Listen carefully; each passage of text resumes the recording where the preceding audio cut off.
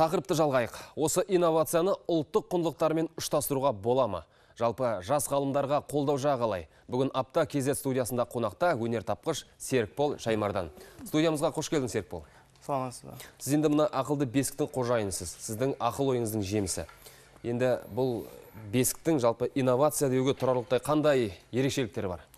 Ең бірінші бұл өзіміздің ұлттық бесік негізінде жасалған, яғни әрі ұлттық бесік, әрі электронды ұлттық бесік бола алады.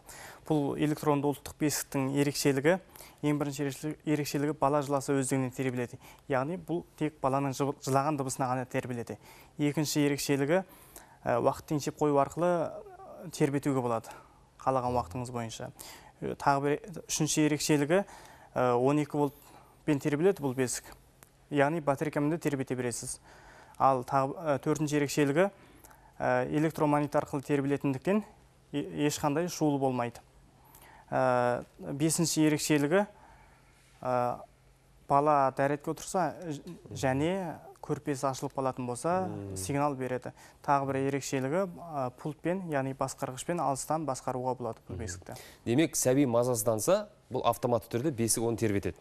Онда іс жүзінде тексеріп көрелік. Бүгін студиямызға біздің сәбиіміз бар. Кәне бесікке сала қойыңыз.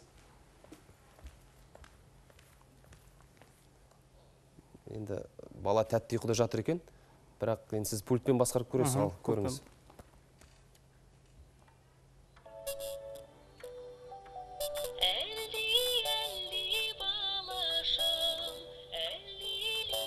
Ұстап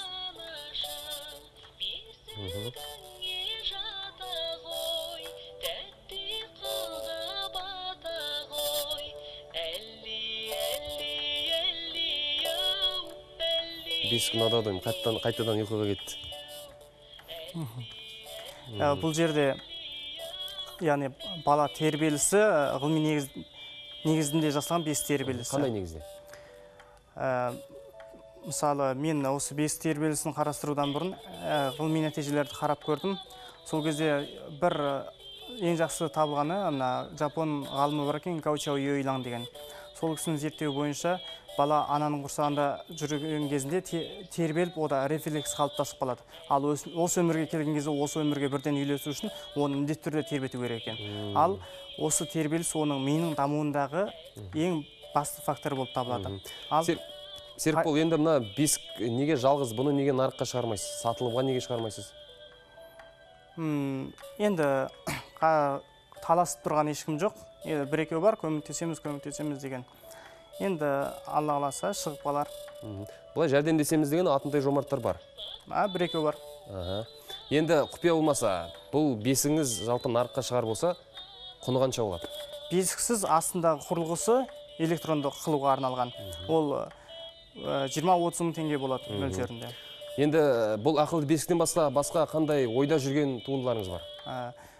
Қазір Қа- Қазақстан Республикасы мемлекеттік сыйлықтың иегері академик Мұхтарбай Өтелбаевтың жетекшілігімен ә, ауадан су жасайтын аппарат және тікұшақтың жаңа типті ә, қалақшасы.